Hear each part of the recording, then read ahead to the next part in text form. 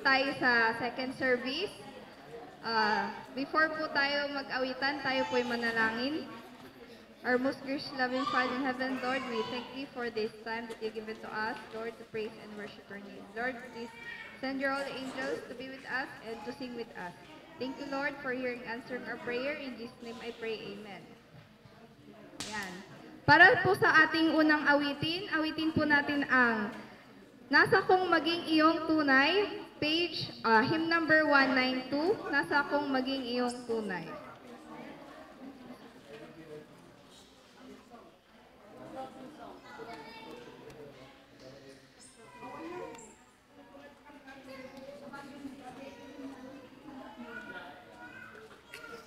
Nasa kong maging iyong tunay, sing.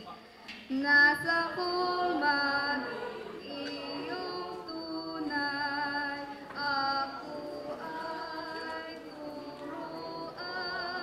Magana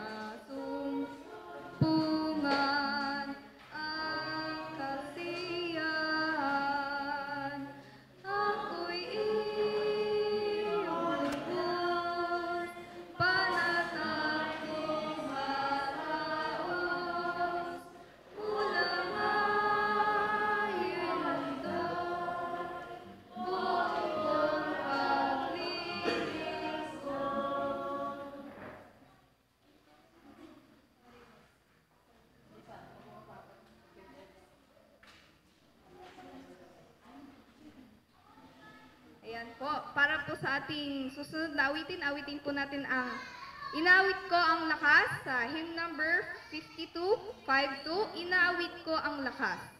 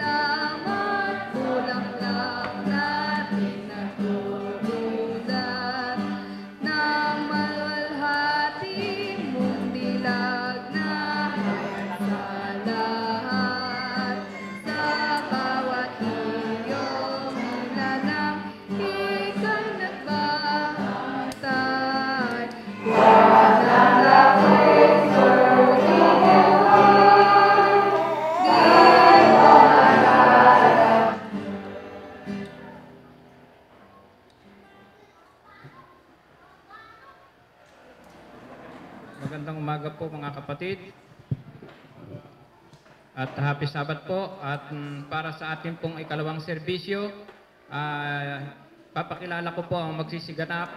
At mm, ating pong chorister ay si Sister Ren at si Sister Mitus. Ang ating pong opening song ay pagkakalob din po sa atin ng ating chorister. At ang ating pong opening prayer ay magmumula sa ating pong tagapagsalita, si Brother Ephraim Dingwasin. Ang title opening po ay pagkakalob sa atin ni Sister Linda Molina at ang ating pong mga ikaputhandog ay ha- ha- lilikumin ng ating mga diakono, si Brother Jolly at si Brother Sunny. Ang ating pong scripture reading ngayon ay si Brother Edjor at ang ating pong special number ay pagkakaloob ng mga taga-AUP at ang ating pong tagapagsalita ay papakilala ni Sister Sally. Ang ating pong closing song ay bibigay din po ng mga taga-AUP at mm, matatapos po tayo sa panalangin ng ating tagapagsalita. Ito po ang pagkasunod-sunod ng ating pong program sa umaga pong ito.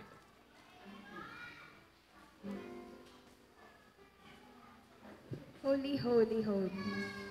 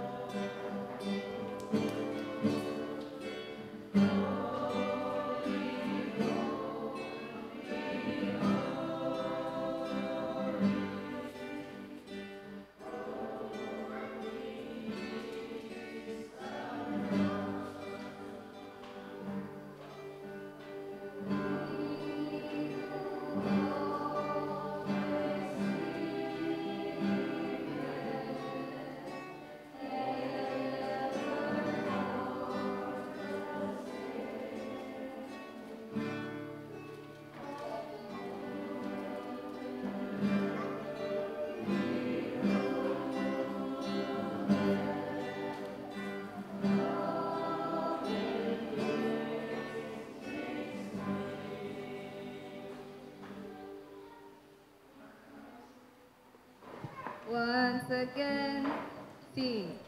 Once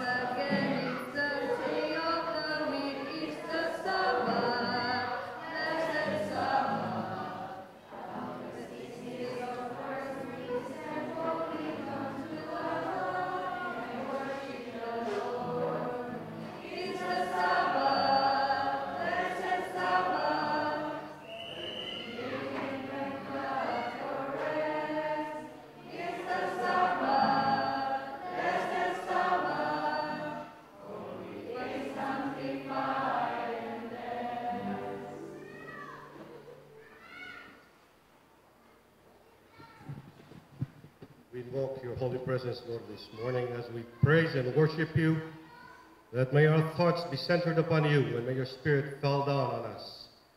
We ask, Heavenly Father, that you would be with our service and anoint your servant as he speaks before you.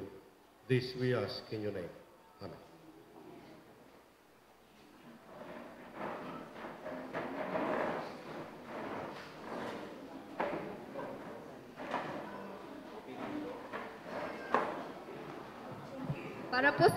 Opening song, tayo po lahat ay tumayo. Awitin po natin ang Walhatiin si Jesus sa hymn number 136, Walhatiin si Jesus, 136.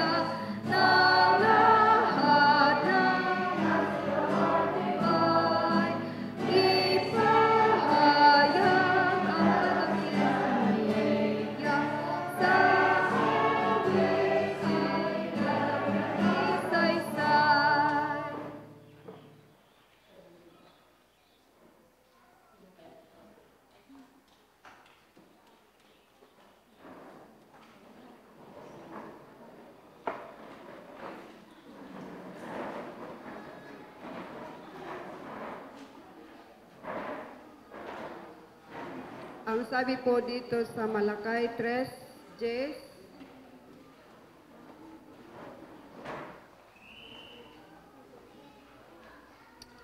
Basahin ko po sa Tagalog. Dalhin ninyo ang buong ikasampung bahagi sa kamalig upang magkaroon ng pagkain sa aking bahay. At subukin ninyo ako ngayon sa bahay na ito, sabi ng Panginoon ng mga hukbo. Kung hindi ko bubuksan sa inyo ang mga du- daungan dungawan sa langit, ay ihuhu at ihuhulog ko sa inyo ang isang pagpapala na walang sapat na silid na kalalagyan. At ipong lipumin ang ating handog at ah, tithes. There shall be showers of blessings. Sing. There shall be showers of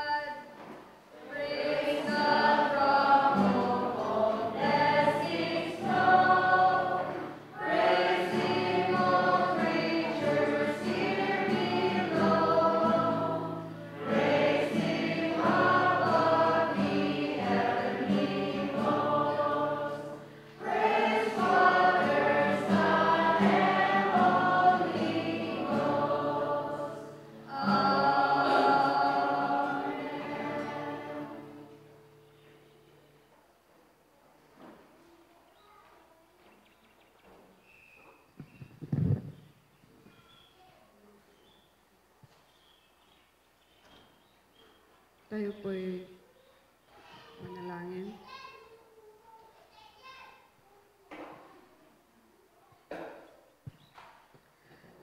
Panginoon, at pag pasasalamat, kami pong ibinigay. Ito po ay iyong binisyonan, na ito ay magamit sa iyong ah, trabaho sa lokal o sa national at saka sa magagamit sa ibang bansa sa pagkakalat ng iyong magandang balita. We all know, dear Lord, that you are the sustainers of our life, the giver of the blessings that you are using day by day. And uh, we pray, dear Lord, that those who are, have given their tithes and offerings may thou sustain on their the blessings, their works, the source of their income, that they may also uh, continues to support the works that uh, uh, you have given commission to uh, all members in this church. Please also the mem- whole members of the family that they can able to be blessed and sanctified in their names day by day so that we can able to continue giving the blessings you have given us back. This all we ask in the loving of Jesus we pray. Amen.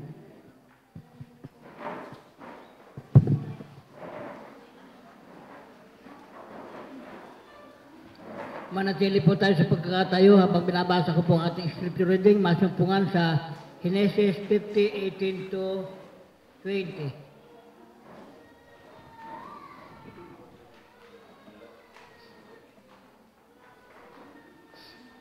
Sabi po dito, ang kanyang mga kapatid ay lumapit at nagpatira pa sa harapan niya at kanilang sinabi narito, kami ay iyong mga alipin.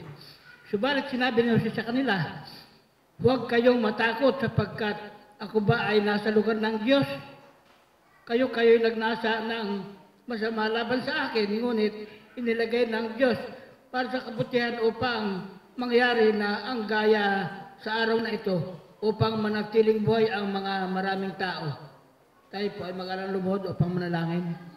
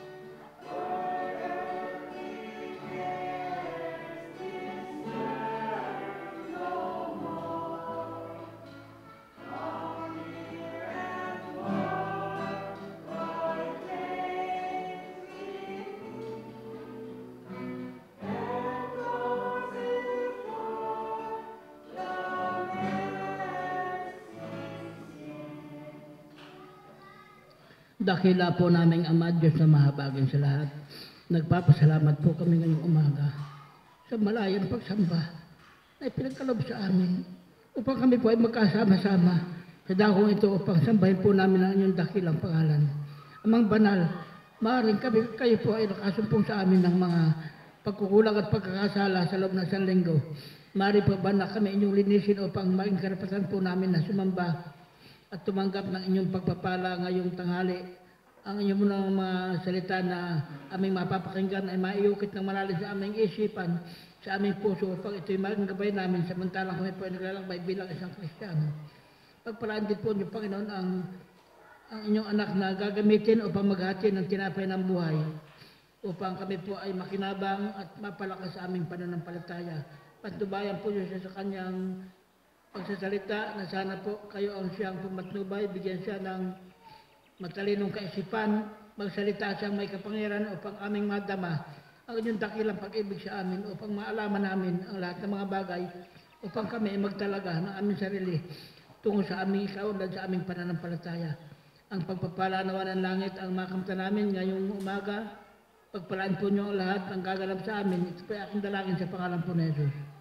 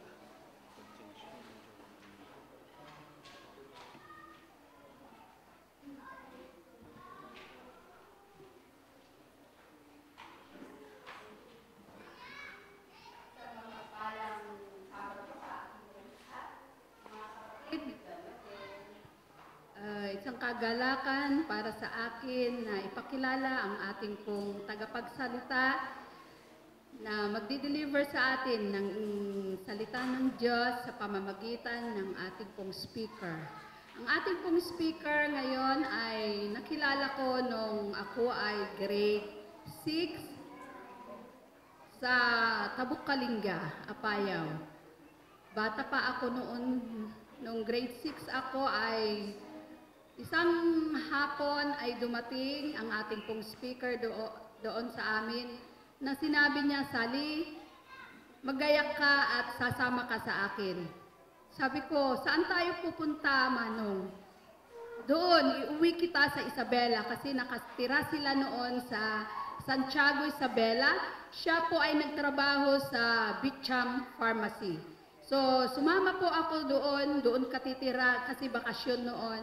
Sige, Manong. After, uh, kasama ko si sister, yung pinsan ko na si Rose. Ayan, andyan, all the way from Cagayan. Ayan, andyan siya. Ay, wala pala. Naiwan sa bahay, nagluluto. Siya po ang kasama ko at tumira po kami sa kanya. No, una pong, una pong karanasan po namin na maiwalay sa aming po mga magulang. At unang gabi po namin, umiiyak po kami. Umiiyak kami talaga, nai, naiinip kami sa bahay po namin, sa mga family namin. Eh, ang iniisip ko, gusto ko makapag-aral, sabi ko, kaya tibay ng loob. Siya po yung unang tao na ah, kumuha sa, sa amin, sa akin.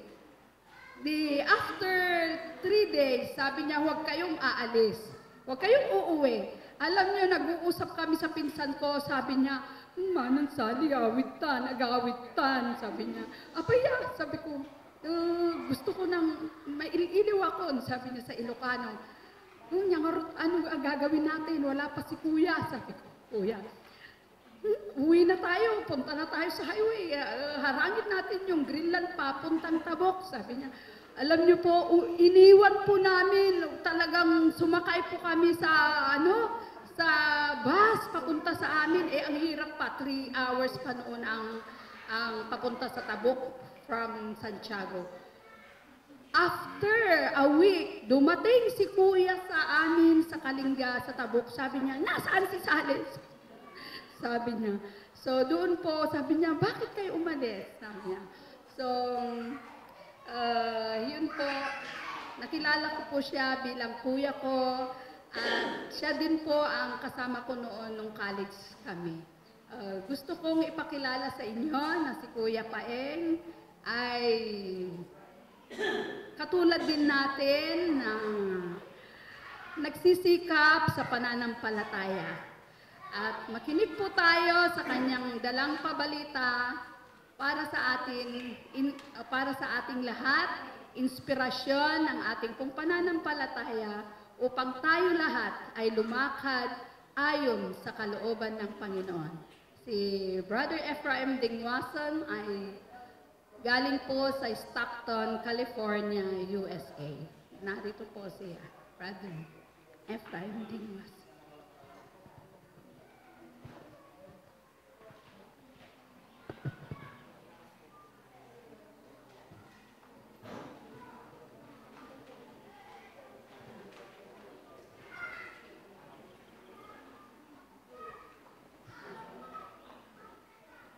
Nandun kami sa amin na ang kakapagyan dito. Bro, tumakta naman namin kakapagyan.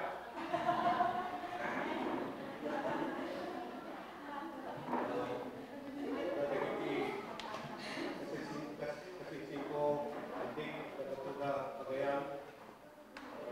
Pasensyahan yung katikusis ko, kastoy, kanapirara, ni Sinus, nakuha na check ko, ah, post na isang ripa, nakaulitan, so iba-iba na alas dos di trabaho, iba na alas 4, matulog ako, nakatawa ako, kastoy ka, it, it bothers me. So, nagbiyan man at, uh,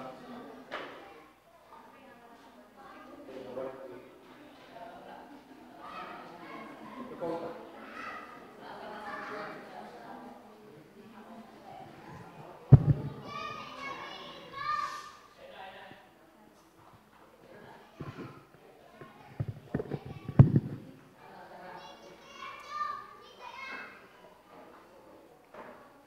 Kahit naragsakan at ah, naragsakan kami kamsat nga makigimong kada kayo ditoy. Uh, naduwak ni dati ni nanang ko asawa day di Pastor Dingwazen. Eh, di kapsat ko, ni Elmore, uh, isuda, da, da, taga di San Diego da. Kanta kami kinibakat, jay more kami di Northern California, jay Stockton. Uh, nakita ko siguro kasing singkot to'y da Sally, da Marlene, da Eddie, da Bayaw. Eh, Maragsakan kami, ka nakadaan kami tigundaway nga makigimong kada kayo. Mawatan tayo amin ti Ilocano ka kabsat. Pag, pag, pa- pasensya kayong ta ah, sa anak nga marunong ang Tagalog.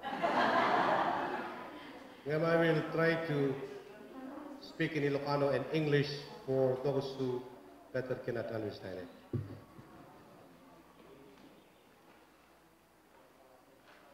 Jay, no ada dikiti Biblia. Lukatan nyo man iti Genesis chapter 50. Ngam di scripture reading tayo ng iti 18 nga na 20. Ngam kahit kung iti chapter 15. Nga na malpas. Basa the New King James Version. When Joseph's brothers saw that their father was dead, they said, Perhaps Joseph will hate us and may actually repay us for all the evil which we did to him. So they sent a messenger to Joseph, saying, Before your father died, he commanded, saying, Thus you shall say to Joseph, I beg you, please forgive the trespass of your brothers and their sin, for they did evil to you. Now please forgive the trespass of the servants of the God of your father.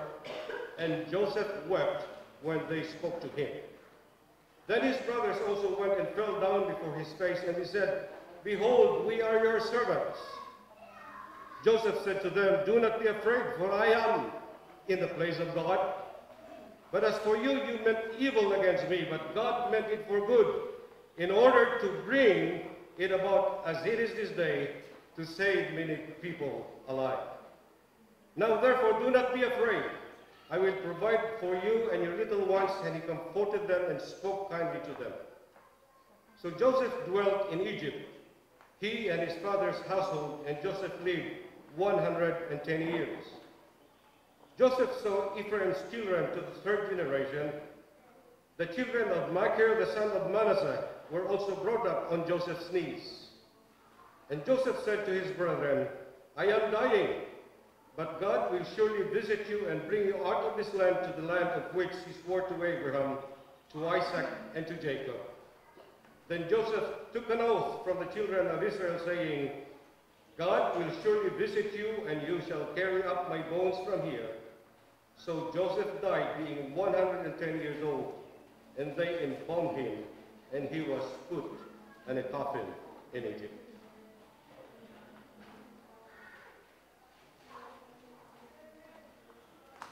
Saan kayo nataya ka, mas daaw ka? It is very interesting that the book of Genesis, libro ti Genesis, nang rugi iti creation, kat nagpatingga iti lungod. In the beginning, God created. He speaks of creation, but the end of the chapter, it ends with the coffin of Egypt. Ngam, tinagbayatan na nagita kapitulo, pakasaritaan ti heritage tayo na marswa niya, ti imuna nga tao, imuna a pamilya, ti imuna a basol, ti imuna a papatay, ti imuna nga pinagrebelde na kiti tao, ngam kalpasan na amin nila, ada tao nga timbaon, nga nagbalin, a kapablin, o kasla ni Kristo. He was likened unto Christ. There arose a man in the history of Genesis, there arose a man that everything that happened in his life, what? He stood firm on his faith, and that is what? Joseph. Narigat kakabsan, ta ito'y libro ti Genesis, lumangrugin ijay maudi nga 14 chapters in ganat malpas. saritaan na ijay ti kabibiyag manipod iti pamilya ni Jacob. It speaks of a, fa- a family that is dysfunctional. Saan nga nalintag mo ng perfecto ti pamilya ni Jacob. Ijay na aramid what? The first deceit pinangluko, na aramid rape di, Dina, na aramid papatay. This is a dysfunctional family. In spite of that, si Joseph, mako na tayo, saan uh, natina, he wasn't affected by all of this. Kadasat nga sumbatan na ina do mga saludsud na tayo iti sa paskong asa Tanong kitaan tayo yung kapibiyag ni Joseph, ada sumbat na nagay sa lugsud na tayo madamati square sa katina. Ni Joseph, intalged na ipamati na uray ibitsyempo ti panakasuliso. He grounded his belief even in spite of temptation. Nakita nyo, sino ka nakatayo kung saan ka nasulisog nyo? Ada? Kuna na ti Biblia, tilubong, ipakita tilubong saan kinadakas the lust of flesh and the lust of the eyes, pride and everything. Kat amin na ito eh, mabalin nga naglabasa. Ngayon, iti pa nakasulisod ni Joseph, intalged na ti pamati na kinunana, maragsinyo ti silang pinagsumbat na kini asawa ni my master, your husband, has trusted me with everything. How can I do this and sin against God? Saan na nga kinunana, makabasulak kinilakay mo, no aramidon taray ito. Saan? Ngam two things tinarami. Kunana, your master has trusted me with everything, but how can I do this and sin Kamsat, umay ito yung abanbanag, di pa nagbiyak rin. Saan nga nalaka abanag kada tayo? Na kinagpaisuan na the more you become successful, the more. Dapat nagkaisumahan nga nakaskas daw nga oray na di pasto. Oray na di businessman, oray na di politiko matanda. Because when you are successful, you have the capacity to buy the pleasures that you have. Adaan ka, sumabalin mo mga tangan na yun. Isumahaan tayo nga kung kuna, nga, gaputa pasto, nga saan nga na pa? Lang na kayo. Kung gabuta sa Batista, ay, ada di pagsusugot sa Batista tayo. Ikatid tayo di nga sa ukakakla. Tada tayo, managpasok tayo. Ngamin na ba na, matan tayo. Isungahan tayo ka kung kunata kini Joseph. Idin nga timuray. Het na ikulong. Isupay kumate ada, karbungan na nga mangkuna. Apo, inaramid ko amin.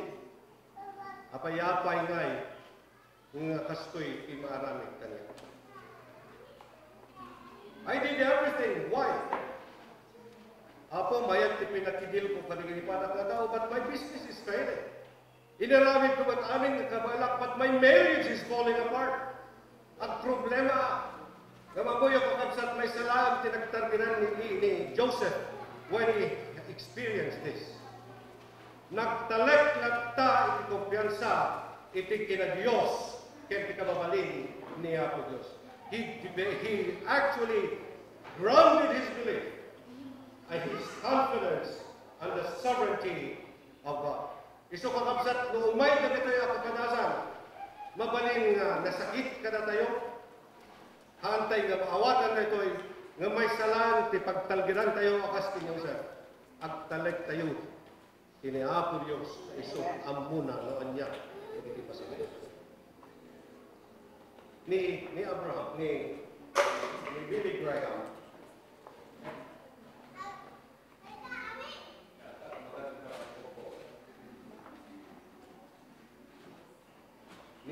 Graham, madama nga in-interview ti may nga gayom na ti BBC ni David Frost.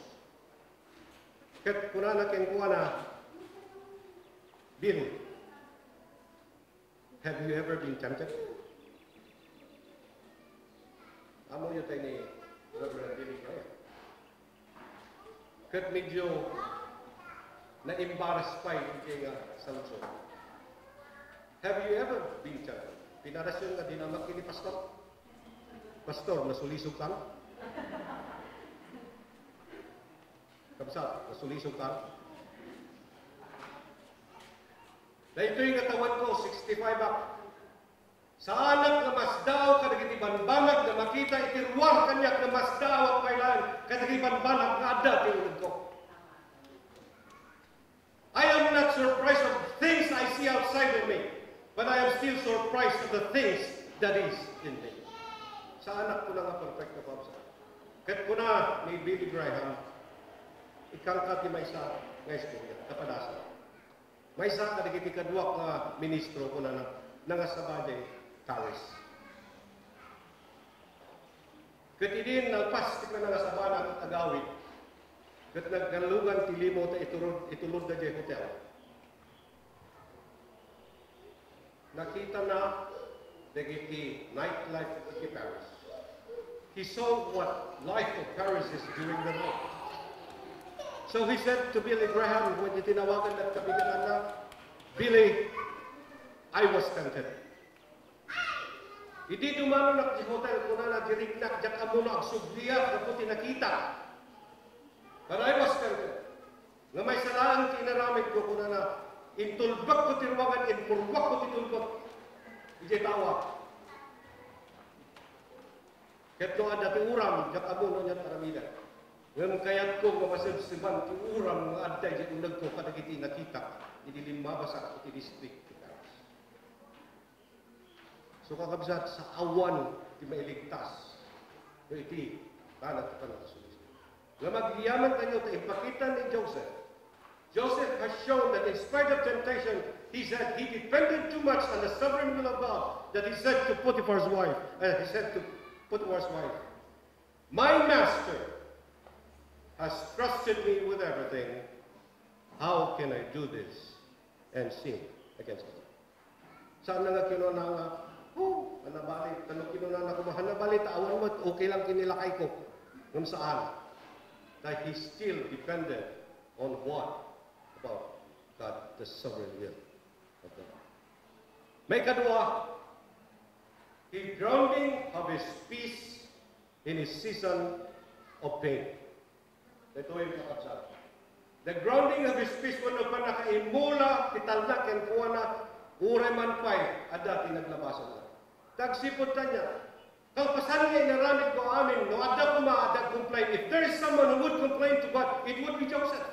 I have done everything, Lord. Yung kalpasan na amin nito, apay ngay nga makulunga. When God stops you on your tracks, no pasandangan na ako Diyos na puti experience na maranasan nyo kanilibag bagiyo, wala iti pamilyayo, He is not true to you. Laglag na nyo, haampay ang napas niya ako Diyos, kipinang bukal na kenta. Ah, nakasla ko mang, mang panday, Isi isarsaran na kapailangan kada kita na experience mang kita no kasakto ipinagtalek mo. Umay dagiti kapadasan tali. Na ikulong ni Joseph. May intellect na confidence na kinapo Diyos nga uren ng paimay dagiti nga kapadasan saan na nga inibatan pamamagitan. May sa nga manmurat ti kanta ni Annie Johnston Flynn. You have the copy, ma? Uh, basahan. Ni Annie Johnston Flynn, na orphan, ubing nga natay na iti naganak ken kuana. Idin gumalbalas ang basi. Nagsakit di arthritis. Nag-cancer nabulak, incontinent, na nakakaste, italingan. Na kung na dyan ang isurat, yung biography na nga walo nga pilos kami na dyan bukod na kapipanigatiso na dakin ko. Ngayon, in spite of that, adamay sa lakad na surat na. Pero, kuna na, He giveth more grace when the burden grows greater. He sendeth more grace when the labors increase. To added affliction, he added his mercy. To multiply trials, his multiplied peace. We have exhausted our store of endurance when our strength has failed, ere the day is half done. Kas nakanabanlog tayo, kat di pa ilan ang pascal daw ko na na. When we reach the end of our hoarded resources, na itit tayo alinan, our Father's full giving is only God. Inton namnaman tayo nga nagpatinggan tiko na tayo, mangrugilaan ni Apo Diyos, nga mangbuo, Yan po. His love has no limit. His grace has no treasure. His power has no boundary known unto men. For out of his infinite riches in Jesus, he giveth and giveth and giveth again. So saan tayo ko nakakabsat na lang paglabasan tayo i nasaam na experience. Mabalin nga, may sa patigiti pamilya, may uno tayo, ay tayo, tayo, bigla lang tao. Wano, ti marriage tayo, mawas mo sa. Saan tayo nga muna, apo at aramidit ng amin, yeah, good question. But may salang apo kung mabalin tayo nga itin, so what ka nagiyay nga mapakatparas na gawin. Let us not doubt the character of God. Saan tayo mapagbaluan? Dito, hindi niya ako pa. Idin makita ni Joseph, nagiti kakapsat. Nakita ang pinagbalbal. Oh, nagdubong nga puso ni Ethan na kini Benjamin. Ah. Nagkinita na, nakasakot yung reaction ng kakapsat. Maragsakan, hindi makita na ni Benjamin na iso gusto makapsat na hindi kini Jacob, kini Ben. Maragsakan na rin. Kung nakita natin pinagbalbalin nila. Hindi ni may naman natin ipakita ng parangarang ng ibagi na kanakuha na. Kat kuna na, kuna di kiti kakabsat na, uray aramidin na kamin nga adipo. Uray aramidin na kami nga adipo. Ngam kuna na sa apay at kaya, hindi ako Diyos, kastat aramidin. Si ayat, ano makawa? Ayatan nakakabsat, ni Joseph uray man kasay pinagbanagan na nagligatan na siya ayat pay lang ano makawan agsipod ta nagtalek iti ta muna ti grasya kumakawan na ipay ni Apo Diyos kung galmay sa kanila. Sungahan na nga ipaidan na ita nakikakapsat. Sunod-sunod ka na kayo kapsat. If there is anyone here, if there is anyone here who has not forgiven a loved one or somebody else, that person still controlling it. Kung siya sinuman kada tayo ito, iti may sakit saan na balan nga naadal ang mamakawan. Dahil tanga tao nga saan mo pinakawan kung kontrolan na ka. Kat anya kiti na ayak nga nagdakkel abanag ikinunan na Apo Diyos. Anyaman kinagbasulam iparawar ko umanay ang mga bong itabaso. So nga hantay nga karkararag ako, nagkamaliak manan. Na saan na kami ako Diyos, saan mo makakuan ko ng amanen? Na idin pinakawan ka, inabungak, nakita netag saan ko nga mo iso na nagbaso ka, hamo ko ng manen. Taawanan na diyan mo na, kung nagbaso mo ka. Don't say again. Because the way I look at you, when I have forgiven you, is that I have forgiven you. Then I don't see what is trust in you. I saw, I see a new creature. And Dagday, ayak ni paay ni David, ni, Jos, ni Joseph, kada gini kang sa Hindi din, nga nganin na matay kat inbilin nan. Ito lang na kada gini kakapsat na. Uray ni Potiphar, ay uray ni Pharaoh, Eh, Hindi makita na ni Joseph, kinunana, There is no man in this land like this man, for in him dwells the Spirit of God. Awan ti kasta nga tao ti buong Egypt, na makita na no ti maysa ni Pharaoh, nakita na maysa pagano, nakita na ti katataong Joseph, ni Joseph. Nga ti Espiritu ni Kristo na kinuha na, anya namin kada tayo makabsan dito yung kalanahan. Anya ti kuna na kiti ka kapagbumatay. Mabalin nga dalata, nga nagsya at manla, nga nagiti ka arubak sa kapis na dito. Awang ti makita mo, napakasalitaan na makita ti kabibiyag na. Ket iyay kabibiyag na naman ipakita, ito nga lang pinapo niya. Dahil ti dawat na itong kalamay sa harap. Earthly pleasures vainly call me, but I would be like Jesus. Nothing in this world will harm me. I would be like Jesus. Be like Jesus, this is my song, in the home and in the throne. Be like Jesus all day long. I would be like Jesus. Dahil kung makakabsat, ikararag tayo. Inaldaw-aldaw. Gani ako Isus kumati makita ti pinagbiag tayo. Uray umay ti kiti kapadasan nga saan tayo awatan. Saan tayo tumangay ikaten. Ti pinagtalek tayo ng ta. Kinapo. Diyos na po. Uh,